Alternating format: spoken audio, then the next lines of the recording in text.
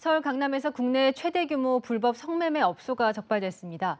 리모컨으로 여는 비밀 문까지 달아놓고 호텔로 위장해 일명 바빌론의 요새로 불렸습니다. 정현우 기자입니다. 호텔 지하 벽면에 설치된 책장. 리모컨을 누르자 영화 속 한 장면처럼 책장이 움직이며 문이 열립니다. 문 너머의 공간은 유흥업소. 텅빈 유흥업소를 수색하던 경찰이 철문을 뜯어내자 이번엔 또 다른 호텔로 연결됩니다. 자, 문 열어주세요. 자, 강제 개방합니다.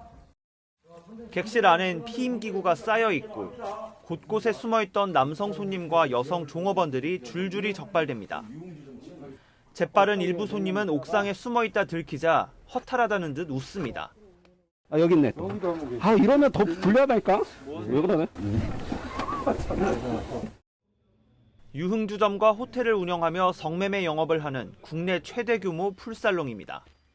호텔 두 곳과 유흥업소를 지하 비밀 통로로 연결시켜 놓고 호텔 투숙객을 받는 척 손님을 받아 불법 유흥주점과 성매매 업소를 운영해온 겁니다. 성매매에 이용해온 호텔 건물은 폐쇄된 것처럼 외부에서 문을 잠궜습니다. 하지만 술값 시비 신고가 들어온 걸 수상히 여긴 경찰이 지난 6월부터 잠복한 끝에 단속에 성공했습니다. 출입구가 외부에서 쇠사슬로 다 잠겨져 있는 거예요. 거기 펄펄 끓는 게 김이 올라가는 게 보이는 거죠. 그래서 귀를 딱 대봤더니 안에서 음악 소리가 들리는 겁니다.